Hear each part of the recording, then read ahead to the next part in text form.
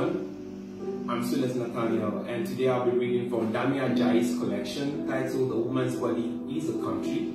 I'll be reading the poem Say You Love Me, and I'm reading it for none other than the Dewdrop Duchess herself. I hope you enjoy it. Say you love me, and let me taste your lips, and let the evening wind rise and let your little dress sail in it.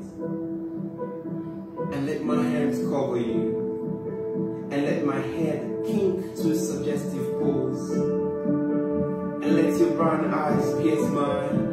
And let my brown eyes pierce yours. And let a swarm of belly butterflies rise. And let us remember what today is. You see, today holds promises and uncertainties.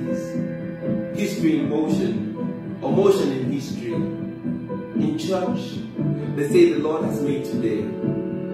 We are glad in it until the angst of tomorrow's promises. This cup is full of cups and one wormwood. Let me soak up this moment. Just say you love me.